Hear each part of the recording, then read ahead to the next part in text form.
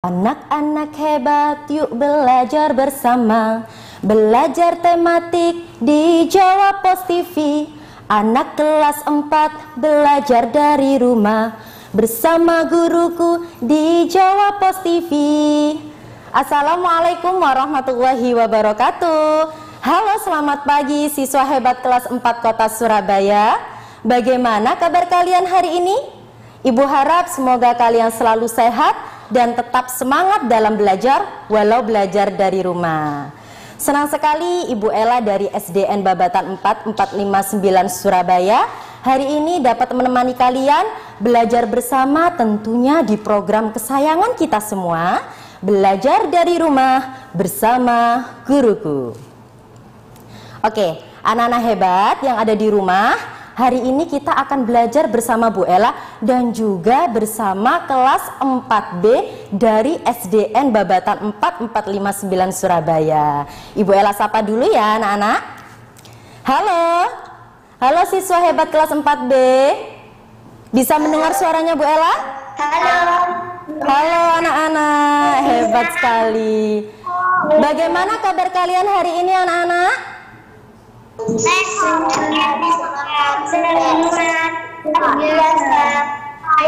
Oke, okay, good job. Sehat, semangat, luar biasa. Yes. Semoga tetap semangat ya anak-anak hebat. Sudah siap belajar? Sudah. Oke, okay, sudah siap belajar. Siapkan buku tulis kalian ya bagi anak-anak yang di room Zoom maupun yang ada di rumah. Buku tulis disiapkan, buku tema 5 juga disiapkan. Karena hari ini kita akan belajar tema 5, subtema 1 pembelajaran 1, materi Raja Purnawarman. Nah, anak-anak, sebelum pembelajaran dimulai, ayo kita berdoa bersama-sama. Coba Mas Afdon, Bu Ella dipimpin doa ya hari ini ya anak-anak. Mas Afdon bisa mimpin doa? Bisa. Oke, silakan Mas Afdon. Sebelum kita mulai pelajaran, sebaiknya kita berdoa terlebih dahulu. Berdoa mulai. Selesai. Oke, terima kasih Mas Abdon. Oke, anak-anak hebat. Hari ini kita akan belajar tentang Raja Purnawarman dan juga tentang sifat-sifat cahaya ya anak-anak ya. Nah, coba diperhatikan sayang. Diperhatikan gambar nomor satu. Kira-kira gambar apa ya itu? Gambar apa anak-anak? Sedang sakit. Iya, menjenguk teman yang sedang sakit. Oke. Untuk gambar yang kedua, kira-kira gambar apa, nak?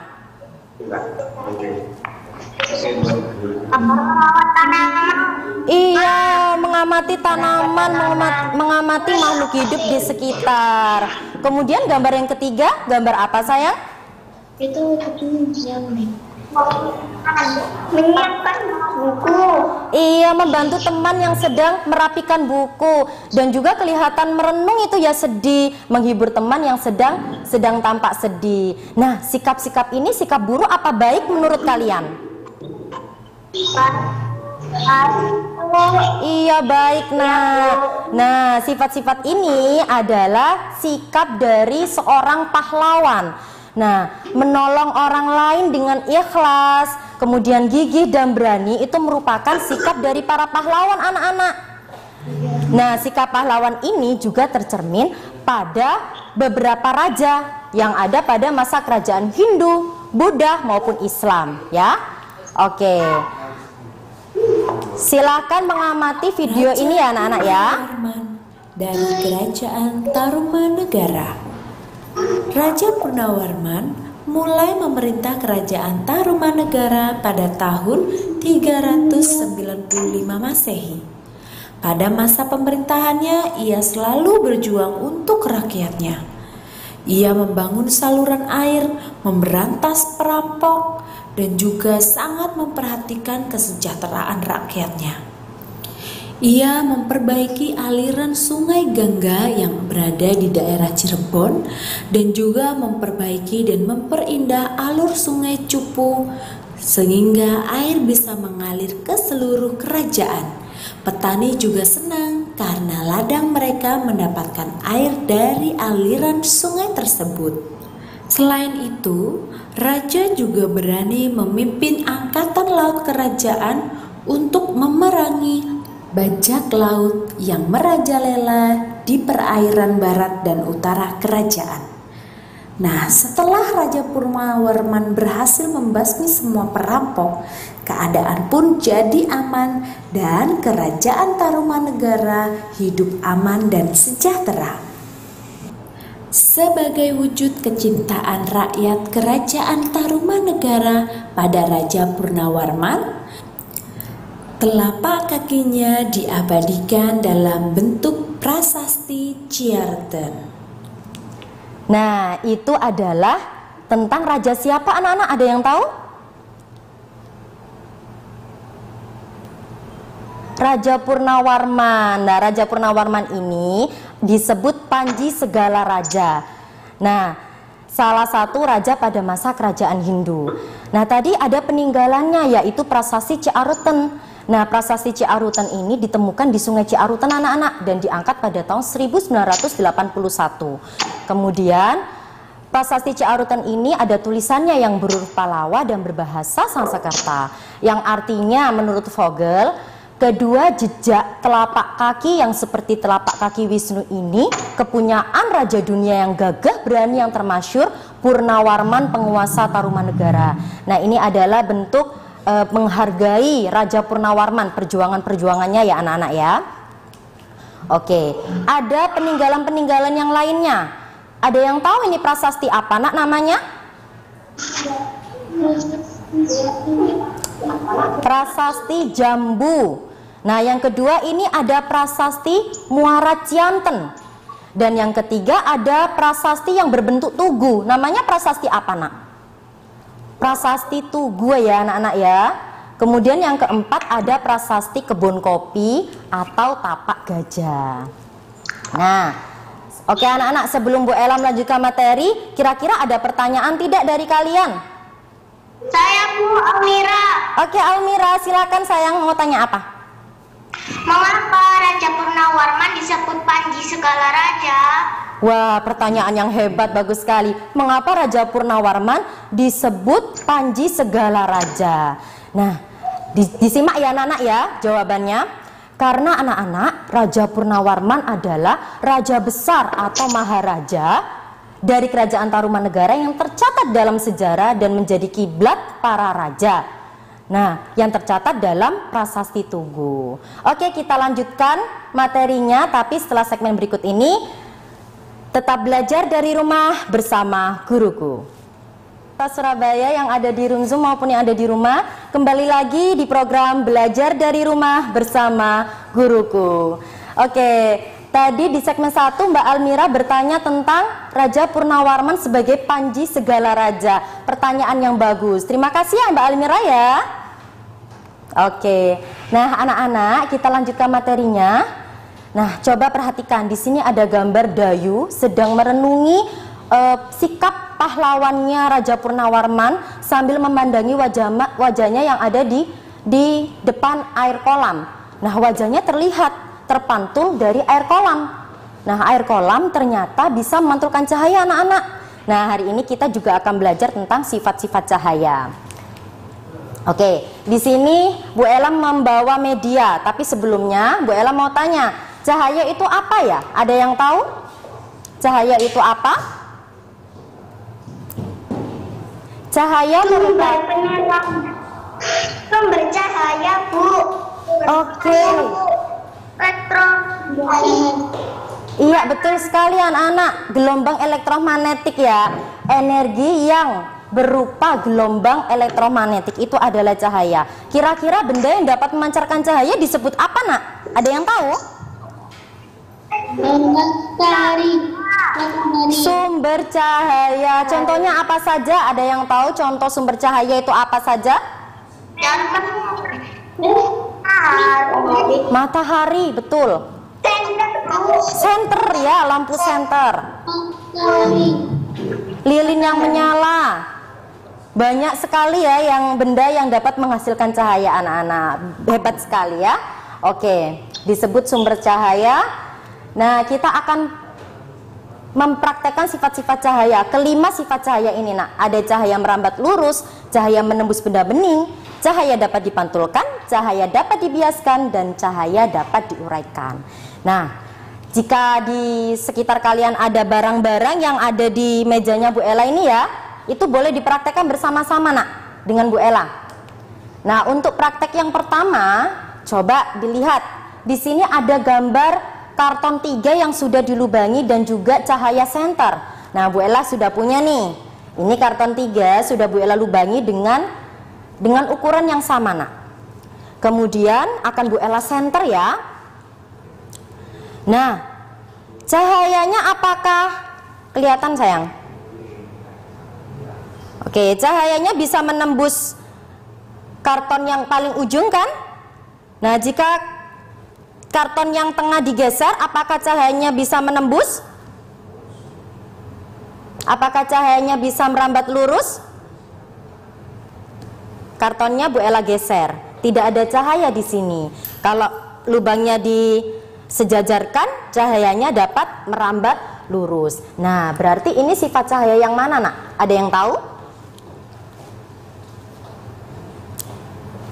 cahaya merambat lurus nak ya Oke, nah contoh dalam kehidupan sehari-hari cahaya merambat lurus ini seperti ketika ada cahaya matahari yang masuk melewati jendela atau sinar atau celah pintu ya itu akan merambat lurus ke dalam ruangan. Kemudian cahaya mercusuar nak di tepi pantai itu akan terpancar lurus.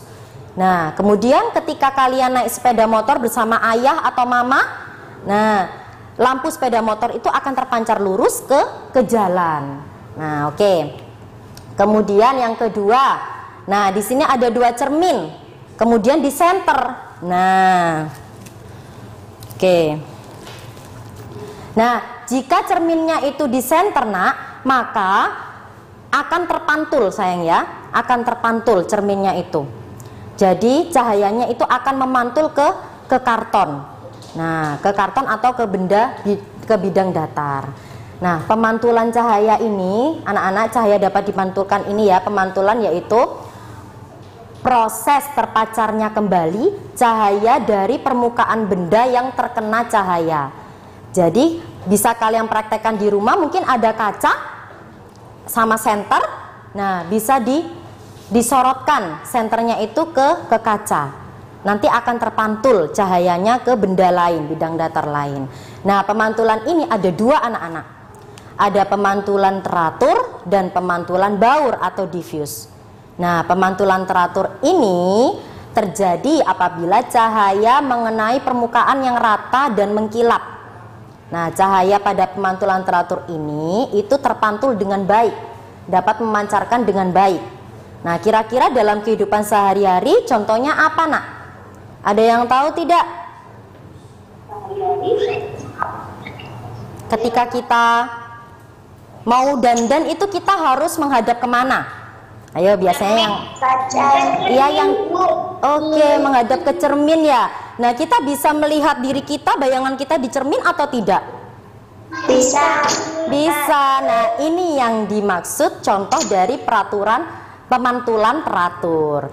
Nah, kemudian pemantulan baur atau diffuse jika cahaya terkena permukaan yang kasar. Contohnya, tembok yang bergelombang atau kasar, kemudian kayu, kemudian ada bebatuan. Nah, itu pemantulan baur anak-anak ya.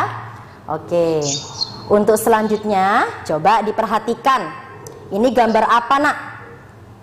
Ada yang tahu ini gambar apa? Sebelum Bu Ella praktekkan, oh ada yang sudah menjawab cahaya dapat menembus benda bening. Iya pinter sekali. Coba kita buktikan ya. Ini ada gelas. Nah, cahayanya kelihatan atau tidak nak dari sini ke karton yang ujung? Kelihatan.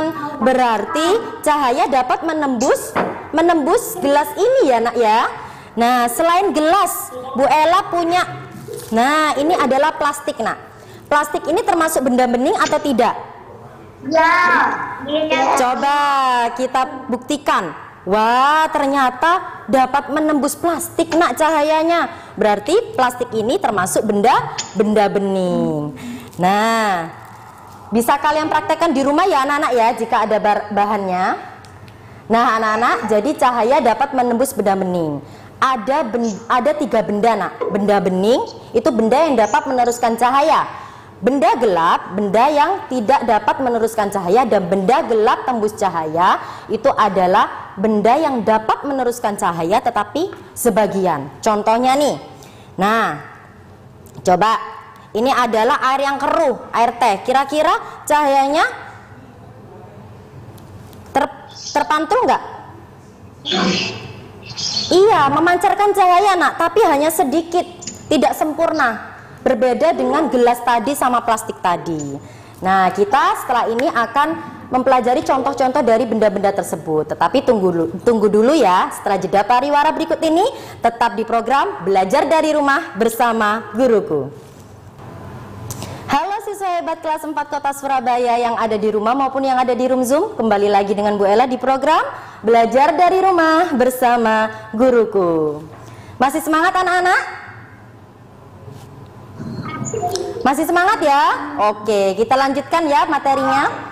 Tadi kalian sudah uh, mempelajari benda-benda, benda-benda yang dapat menembus cahaya. Nah, kira-kira contoh benda bening tadi apa nak?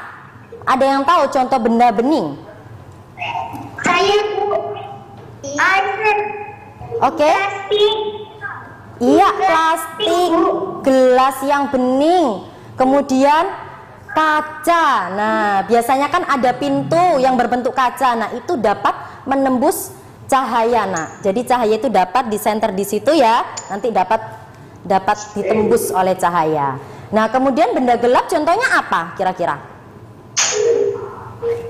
Kayu. Kayu, ya betul. Ada lagi? Iya, betul sekali. Kayu, tembok, batu.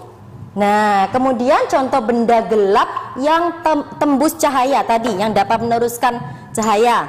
Apa tadi, ayo? Air yang keruh, betul anak-anak. Air yang keruh ini teh kan bukan airnya gak bening ya, ini keruh. Nah, Kemudian ada kertas buram. Nah, itu termasuk benda gelap yang tembus cahaya. Oke, anak-anak. Untuk selanjutnya, coba perhatikan. Bu Ella sudah menyiapkan seperti yang ada pada gambar. Ada dua pensil, satunya Bu Ella masukkan ke gelas berisi air dan gelas kosong.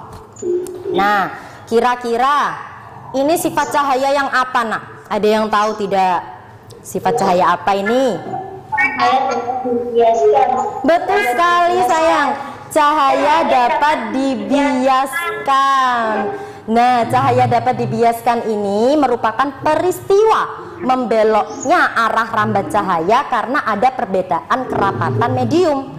Nah, pembelokan ini anak-anak disebabkan karena cahaya yang masuk dari udara ya, ini udara yang renggang bertemu dengan medium lainnya yaitu air yang lebih rapat daripada kerapatan udara. Jadi mengakibatkan pensilnya terlihat patah kan ya ketika dimasukkan ke dalam air. Coba dilihat pada percobaannya Bu Ella ini. Atau pada gambar. Nah, ini yang yang menyebabkan pembiasan cahaya. Nah, contoh lainnya seperti ikan yang ada di kolam kecil-kecil tapi terlihat besar ketika kita melihatnya.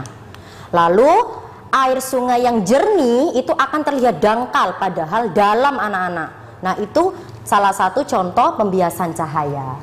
Nah, kemudian yang terakhir cahaya dapat diuraikan.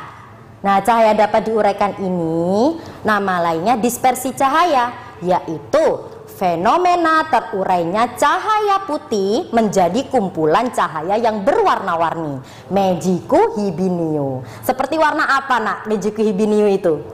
Ada yang tahu? Setelah hujan biasanya terbentuk apa? Pelangi. Pelangi. Jadi contoh dalam kehidupan sehari-hari penguraian cahaya itu terjadinya pelangi. Ya anak-anak ya.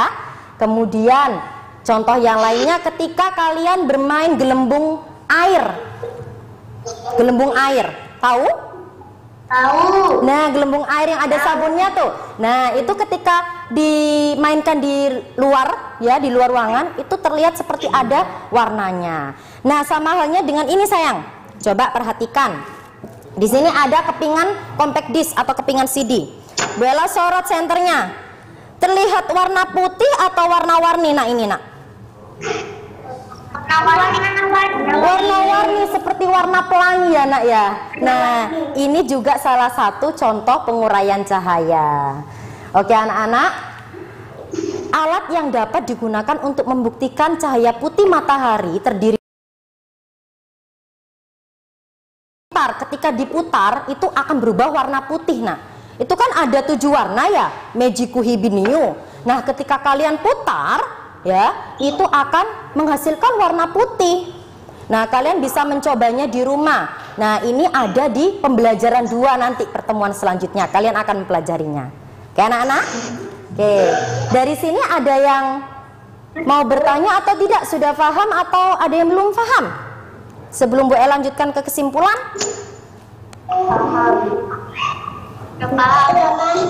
Oke, pinter sekali. Sudah paham semua ya anak-anak ya? Oke, alhamdulillah. Kalian bisa mencobanya di rumah ya. Oke, pembelajaran hari ini kita simpulkan. Kita hari ini belajar tentang pahlawan. Pahlawan adalah orang-orang yang berjasa, yang berani, gigih, dan penuh pengorbanan untuk bangsa, negara, dan agama. Kemudian, sikap pahlawan dalam kehidupan sehari-hari seperti menolong orang lain dengan berani, gigih, dan dan ikhlas, ya. Jadi kita tidak harus berperang seperti zaman dahulu ya anak-anak ya, anak-anak ya, ketika kita harus disebut pahlawan. Nah, kemudian sikap kepahlawanan juga tercermin dari uh, juga tercermin dari perbuatan beberapa raja pada masa kerajaan Hindu, Buddha maupun Islam. Kemudian cahaya ada sifat-sifatnya ada lima, yaitu cahaya merambat lurus, cahaya menembus benda bening, cahaya dapat dipantulkan, cahaya dapat dibiaskan, dan cahaya dapat diuraikan. Oke, Bu Ella ada oleh-oleh nih untuk anak-anak yang di rumah maupun anak-anak yang di room Zoom. Coba kalian setelah ini praktikkan dua kegiatan, dua saja ya, kegiatan sifat-sifat cahaya. Videokan ya nak ya, durasinya tidak usah lama-lama, 5 menit saja nggak apa-apa. Nah, terus kumpulkan ke guru kalian masing-masing. Sudah siap ya anak-anak ya setelah ini mengerjakan tugas dari Bu Ella? Ya. Oke, hebat sekali. Oke anak-anak, Alhamdulillah tidak terasa 30 menit Bu Ella menemani anak-anak yang ada di rumah maupun yang di, di room Zoom belajar hari ini tentang pahlawan dan juga sifat-sifat cahaya. Semoga pembelajaran hari ini dapat terserap dengan baik oleh kita. Oleh karena itu, harus berdoa terlebih dahulu sebelum mengakhiri pembelajaran. Coba Mbak Salsa minta tolong Bu Ella untuk dipimpin doa teman-temannya. Silakan Mbak Salsa. Sebelum mengakhiri pelajaran, mari kita berdoa terlebih dahulu. Berdoa mulai. Berdoa selesai. Alhamdulillahirrohmanirrohim Terima kasih Mbak Salsa ya Oke anak-anak tetap semangat belajar ya Yang ada di rumah maupun yang ada di room Zoom. Tetap patuhi protokol kesehatan. Tetap juga belajar bersama di program Belajar dari rumah bersama guruku. Dadah anak-anak yang ada di rumah maupun di room Zoom. Wassalamualaikum warahmatullahi wabarakatuh